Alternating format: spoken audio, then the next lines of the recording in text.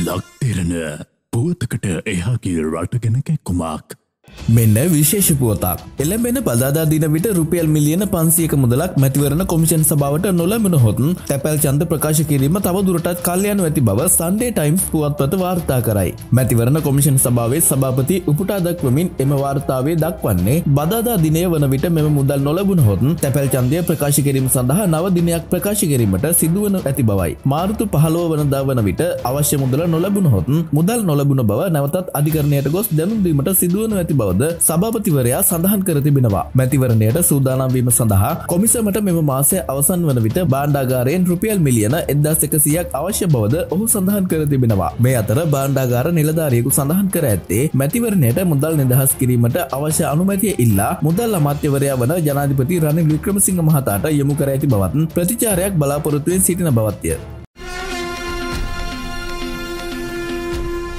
ලක්තිරණ පුවතකට එහාගේ රටගෙනක කුමක්